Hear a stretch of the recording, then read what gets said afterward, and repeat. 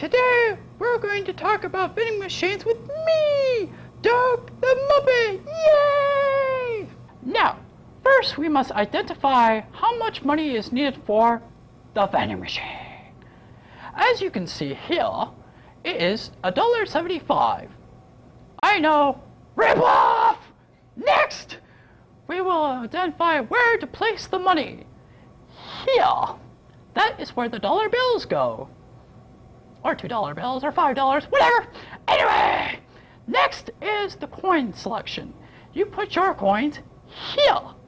I know, but please remember not to use Canadian coins because they don't accept it here in America. I know what you're thinking. You're like, what about the dollar? Well, sometimes if it gets crinkly, you put, you just smooth it on the side of the edge here like so.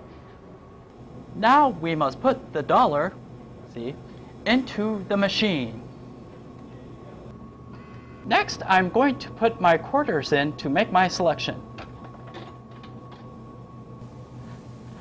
Now, we have a wide selection of sodas to drink, but I think I'm going to go with Cherry Coke, because it's delicious. Next, after pushing the selection, we must retrieve your wonderful product of Cherry Coke or other beverage, like this. Cheers! Nom, nom, nom, nom.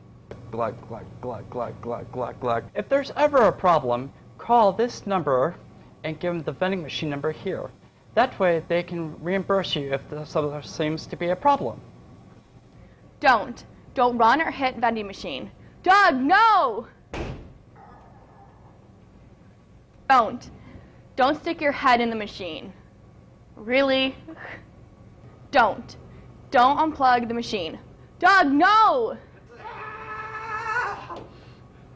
Well, kids, I hope today you learned a lot about the vending machine.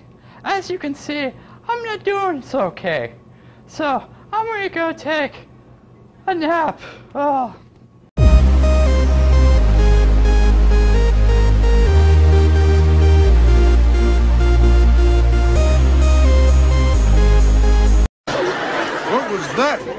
Was very strange. It was very weird. Peculiar. It was kind of amusing. Yes, it was rather funny. It was incredibly funny. I loved it. Hilarious! Wonderful!